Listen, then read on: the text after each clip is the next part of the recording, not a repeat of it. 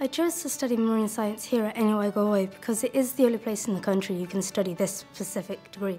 Not only that, the facilities here are fantastic, with the lab work, the presentations, and the chance to meet people with the same interests as yourself.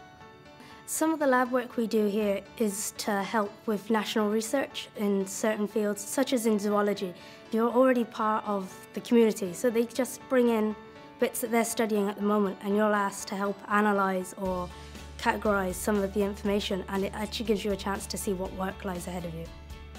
No doubt the best thing about the course here at NUI is boat time. I can't tell you how much I enjoyed boat time. Really, you can sit in a classroom, you can sit there and learn all of the stuff that you're told. And the minute you get out on the boat and you see it and you get the chance to do it, it clicks. It honestly just clicks and you do go, ah, that's what that's for.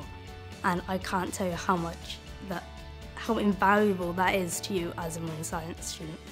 If you're considering doing marine science, I highly recommend that you do do it. The class size here is small, so you are a small group. It is your chance to get out here and network with people, get your name on a paper, just connect within the small community that marine science currently is. Because the marine science community is currently very small, the chances of getting yourself working some, somewhere with something that you're passionate about is very high.